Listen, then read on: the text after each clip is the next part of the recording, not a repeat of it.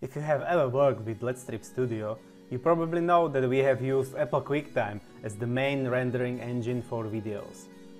Unfortunately, development of the QuickTime for Windows has now been ceased and it doesn't work 100% of Windows 10 anymore.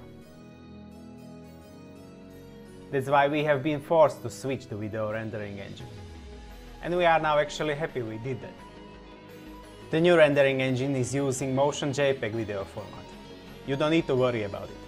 LED Strip Studio software converts any type of video file to this supported format automatically. You can even adjust the maximal pixel width and height of the converted video. We recommend to use 720p, but the new rendering engine can handle even Full HD or 4K videos. So what are the new improvements?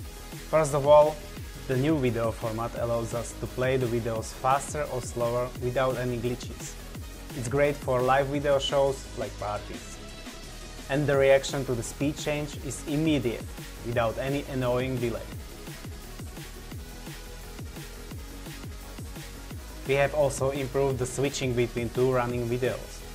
Finally, the fade transition is fluent, again without any annoying glitches.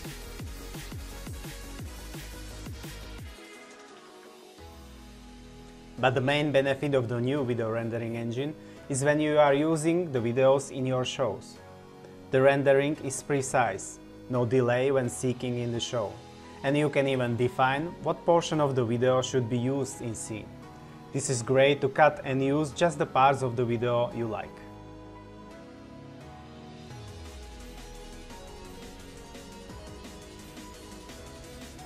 The practical benefit is the performance.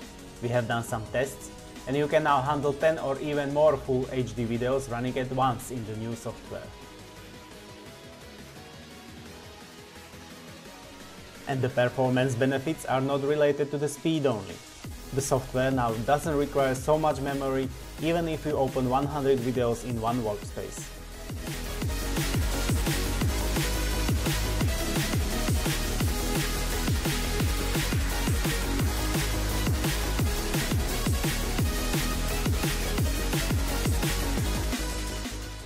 For the new version of LED Strip Studio we have basically developed a completely new codec which allows us to play the videos and movies in Windows. It's super fast, saves a lot of memory and it allows you to play the videos at any speed you want. I would say the LED Strip Studio is probably the best video player for digital pixel LEDs.